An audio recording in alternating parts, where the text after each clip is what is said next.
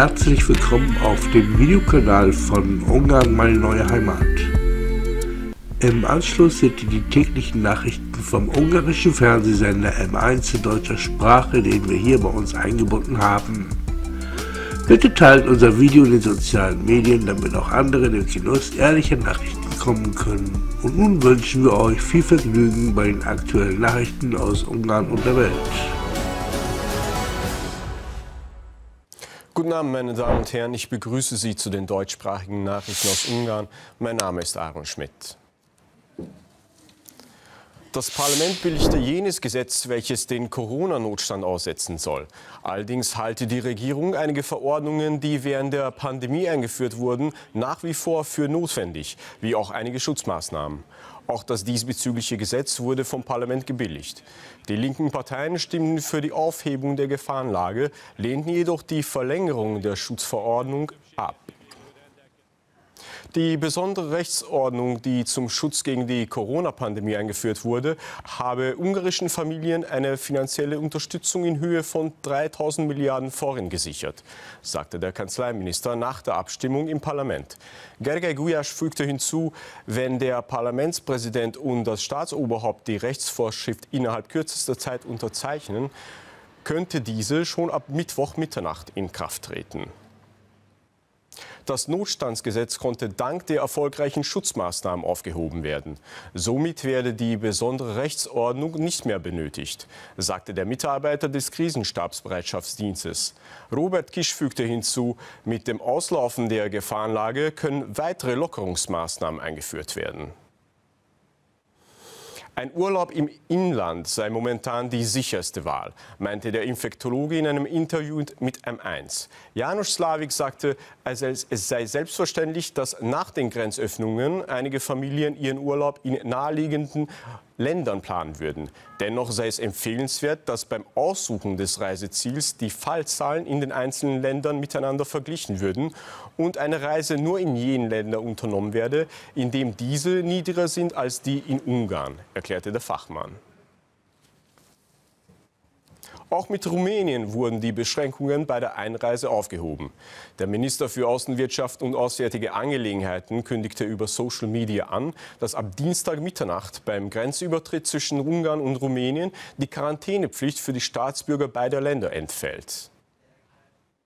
Ungarische und rumänische Staatsbürger können ohne eine zweiwöchige Quarantäne die Grenzen passieren. Wir bedanken uns bei RMDS und beim Parteivorsitzenden Hunor Kellerman dafür, die Frage bei uns kontinuierlich auf der Tagesordnung gehalten zu haben. Sie sahen die Nachrichten aus Ungarn. Ich wünsche Ihnen einen schönen Abend. Auf Wiedersehen.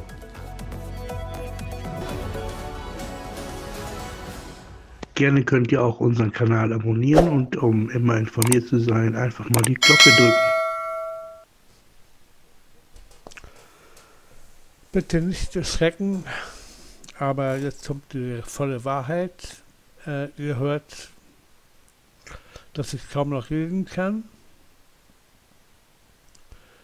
Äh, ja, das heißt, ich kann noch keine feste Nahrung mehr zu mir nehmen. Milch und Joghurt geht. Und äh, ja, Zahnlücke. Die Brücke haben sie mir auch geklaut im Krankenhaus. Ähm, ja, äh, ihr versteht jetzt, warum ich keine Kommentare mehr äh, bringen kann, sondern nur schriftlich und auch schon schlimm, weil ein Auge ja quer liegt. Und ja, das dazu. Ich würde mich bei euch bedanken für eure Treue, ja, für eure Kritik, für eure tollen Worte. Ab Montag habe ich Chemo,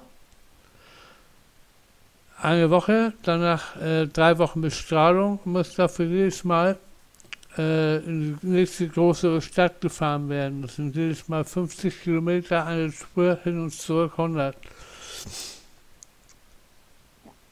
Patrioten und Kollegen haben eine Spendenaktion in die Welt gerufen um mir dabei mit den Fahrkosten zu helfen. Und ähm, ja, schon mal lieben Dank dafür. Äh, Im Kopf bin ich klar. total. Ähm, aber es kommt nichts raus. Ja. Und wenn ich was trinke, dann habe ich immer das Gefühl, ich, ich, ich sticke. Also, das ist der Hammer.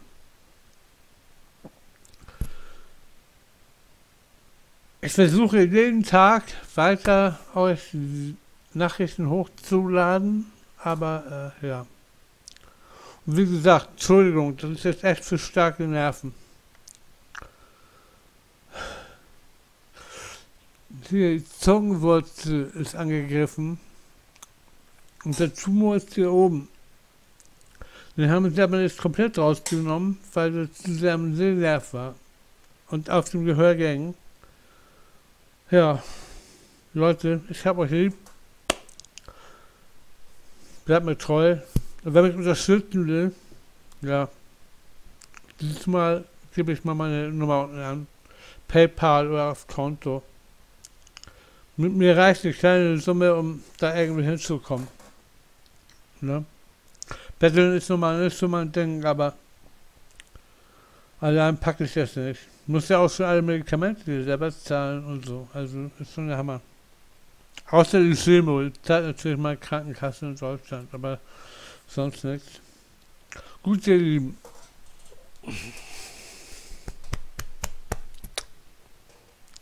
Ich hab euch lieb.